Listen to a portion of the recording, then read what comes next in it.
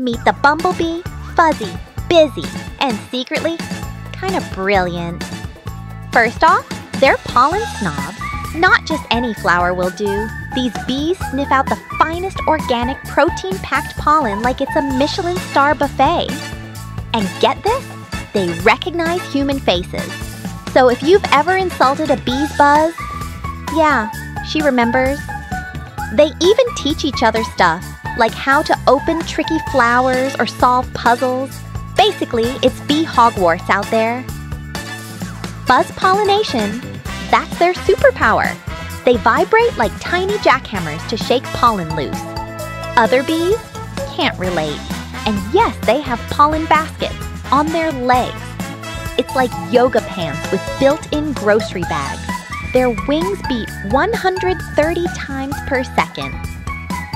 That's faster than your blender on Obliterate. But don't ask for honey. Bumblebees don't make it.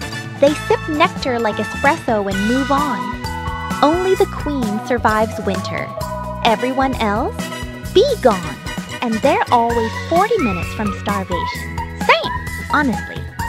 There are over 265 species. Some wear red, some orange.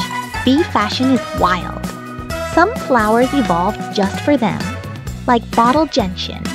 Only strong bees can open it. It's basically a floral gym membership. The largest bumblebee lives in South America. She's 40 millimeters long and nicknamed Flying Mouse.